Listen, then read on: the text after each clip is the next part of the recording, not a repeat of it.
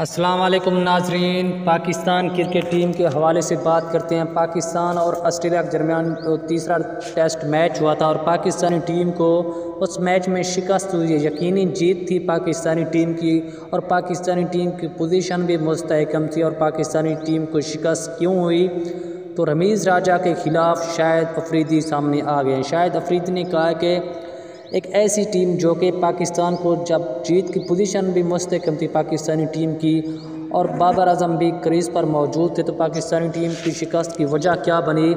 तो शाहिद खान अफरीदी का कहना था कि पाकिस्तानी टीम अगर हदफ को चेज़ करने के लिए जाती, अगर डाट कर मुकाबला करती तो पाकिस्तानी टीम ये मैच जीत जाती। शुएब अख्तर का कहना था कि पाकिस्तानी टीम ड्रा के सोच में थी कि पाकिस्तानी टीम ये मैच किसी न किसी तरह ड्रा कर जाए। अगर पाकिस्तानी टीम की ये सोच हो तो कभी भी पाकिस्तानी टीम ऑस्ट्रेलिया को शिकस्त नहीं दे सकती।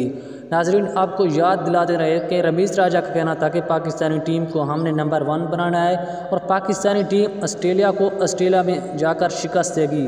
बल्कि पाकिस्तानी टीम अपने होम सीरीज़ में ऑस्ट्रेलिया से शिकस्त खा गई है। तो शुएब अख्तर का कहना था कि क्या रमीज़ राजा ऑस्ट्रेलिया को ऑस्ट्रेलिया में शिकस्त कैसे दे सकते हैं कि वो होम सीरीज़ भी हार गए हैं? नाजरीन, आप क्या कहना चाहते हैं पाकिस्तानी टीम की इस परफॉर्मेंस के हवाले से? नाजरीन, शुएब अख्तर का कहना था कि पाकिस्तानी टीम की सिलेक्शन भी सही नहीं थी। एक लेग स्पिनर लाजमी होना चाहिए था और पाकिस्तानी टीम में एक बैट्समैन की भी कमी थी। नाजरीन, आप बताएँ कि क्या लेग स्पिनर होना चाहिए था या नहीं पाकिस्तानी टीम में? और कौन थे प्लेयर की पाकिस्तानी टीम में कमी थी? कमेंट बॉक्स में अपनी राय का इजहार लाजमी कर दीजिएगा और हमारे चैनल को लाजमी सब्सक्राइब कर दीजिएगा। खुदा हाफिज़।